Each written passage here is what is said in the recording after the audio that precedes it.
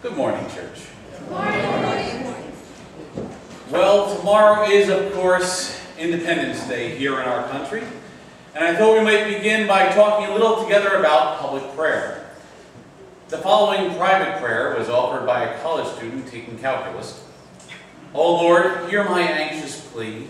Calculus is killing me. I know not of dx or dy, and probably won't until the day I die. Please, Lord, help me in this hour as I take my ease, my case to the highest power. I care not for fame or loot, just help me find one square root. And Lord, please let me see one passing mark in organic chemistry. Oh, such a thing I constantly dread. I just as soon join the Marines instead. Lord, please give me a sign that you'll be listening all the time. Please lead me out of this constant coma and give me a shot at my diploma. and people say there's no prayer in school. Back in February, our youth group participated in World Vision's 30-hour famine. I was reflecting on that this week, well, coincidentally, as an anniversary of the first time I came to you. The first Sunday I stood here was last year at this time, this Sunday. And so I started looking back and looked at last year's 30-hour famine. And we began the 30-hour famine experience by asking the youth to write down their answer to a few questions on poster boards around this very room that you're sitting in. Faced with 30 consecutive hours of not being able to eat, in answer to the question, what are you worried about? Three of the eight responses were about their grades in school. And during our closing activity at hour 30, four of the eight responses to the question, what are you hungry for spiritually, were just two simple words. Good grades. Imagine that. After 30 hours of voluntarily starving themselves to raise money for hungry kids, and the thing that tops the list of spiritual desires for our youth is still good grades. Now, I don't bring this up to belittle our youth in any way, but rather to reveal to us the importance of what happens in school in the lives of the youngest generation. Every time we hear politicians talk about prayer in schools, they seem to be asserting that prayer doesn't already exist there. Many people will cite the separation of church and state and the First Amendment of our Constitution to claim that prayer has no place in the public sphere. So in the spirit of celebrating our country's freedom, I thought I'd share some of the research I did on the topic this week with you. Contrary to the way that you may hear about it spoken about on television, there is no provision preventing students from engaging in personal or small group prayer in school as long as participation in such is voluntarily chosen by the students and does not impose on the rights of others. So, for example, while gathering all the students together in a mandatory assembly and then praying together is out, students are free to gather for prayer and even Bible study during or after school in any of the school's clubs that are considered non-curriculum, if any of the school's clubs rather are considered non-curriculum clubs under the Equal Access Act of 1984. If that's the case, then they can utilize that same, they can create their own school clubs for religious purposes.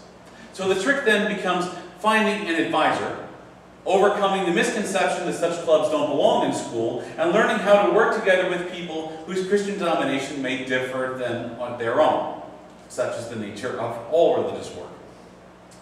But sisters and brothers, our world is changing. Our world has become a lot scarier than it used to be. Amen? Amen. We have placed into the hands of every person the tools of uncensored, expanded influence, while the capacity of an individual to affect others through actions of mass violence have increased or at least remained the same. This has allowed terrorist groups, hate groups, and individuals with mental illnesses to reap harvests of greater damage than they've ever been capable of before. In days past, access to such destructive power was relegated to the hands of those in power who usually had to answer to others, at least in some capacity. At the same time as the United States has become more religiously diverse in the past several decades, school-sponsored proselytizing has been deemed out of bounds. But because schools occupy the majority of a child's day, to strip it of, of, spiritually, of spirituality completely would be to remove one of the few coping mechanisms available to our students. When we feel powerless, is there not power in being able to pray. Jesus, I believe, would want for us to allow prayer in our schools in some capacity. While forcing students to recite prayers offered by people of other faith traditions may violate, indeed, their personal rights, does it truly violate the religious rights of others to listen to others praying in their own tradition?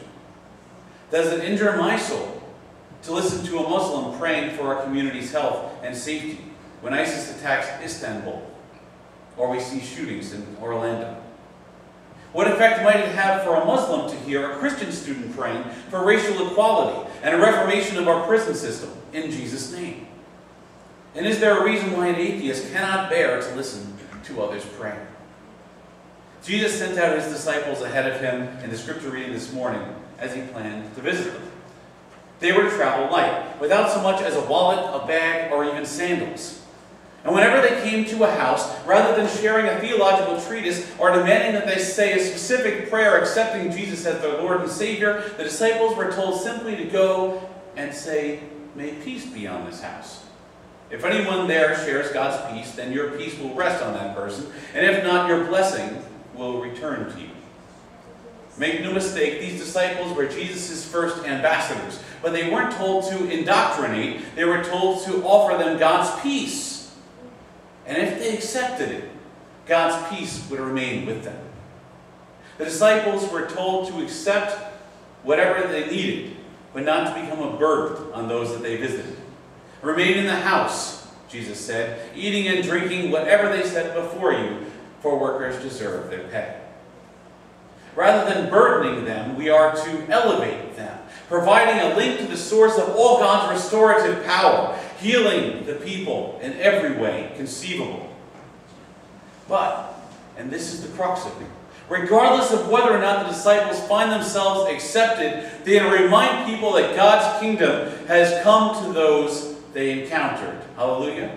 Hallelujah. So whether God's offered peace is welcomed or rejected, each person who encounters it should know that the kingdom of God was there. Amen? Amen? In other words, whenever we offer the world, church, whatever we offer them, it better be good news. Church say, we've got good news. We've got good news. In Paul's letter to the Galatians, he notes how he has begun to write in the ancient equivalent of all caps, which is rude for those of you that write in all caps all the time online, so don't do that.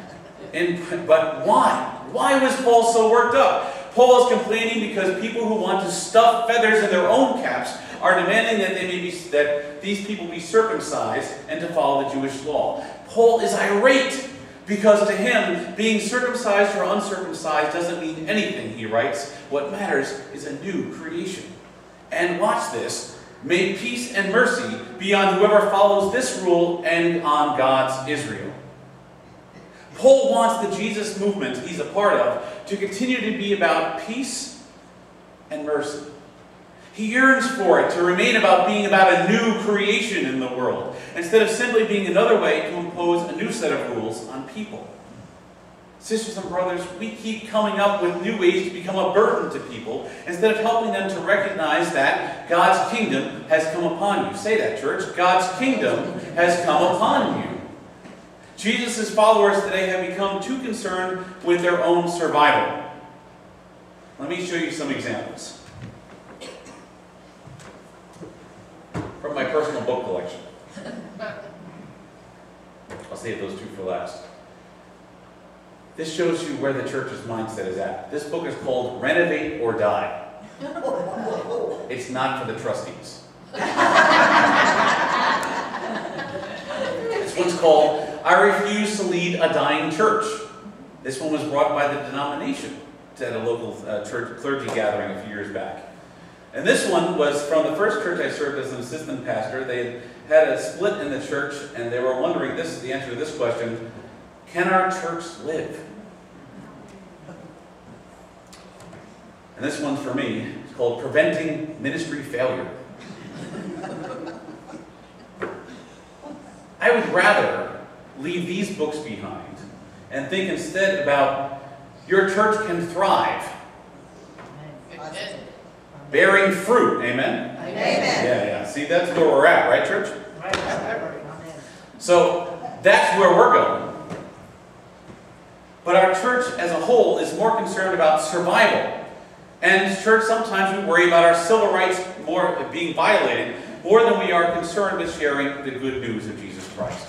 Churches today are quicker to ask the community to support us than to say that we have come to support you. We get more upset that our children are not allowed to pray in school assemblies because it seems we've been forced out than we do that our children are being prevented from praying together for this broken world of ours. Now tomorrow we will celebrate this country's Independence Day, a day set aside by people here in the United States to rejoice in the freedom that we have been entrusted with by those who fought for it. But the best way to celebrate this freedom is not just to preserve it, but rather to use it. We keep trying, tying ourselves to, say, a form of religion, more in the ways that it no longer works the way it used to, instead of making Jesus the sole anchor and foundation of our faith. Rather than complaining about the ways that we've been prohibited from sharing God's peace, let us make full use of the ways that remain. Let's share the good news of Jesus Christ, church, that God's kingdom is right here. Hallelujah. Hallelujah. Let's get out there and share God's good news that the peace of Christ has come to you. Praise God. Praise God. And let's let them know by the way that we live and by the way that we teach and by the way that we serve, and by the way that we love above all else, that the kingdom of God has come near to you this day. Thanks be to God. Hallelujah. Hallelujah. This is the mission and the call of Christians in today's world, not to indoctrinate, not to legislate, but rather to show the love of Jesus Christ in this world by the way that we are in this world. We have a love in Jesus Christ to share, and that church is good news. And it's as simple as, and say this with me, peace be with you. Peace be with you. Peace be with you as well, church. In the name of Jesus Christ. Amen.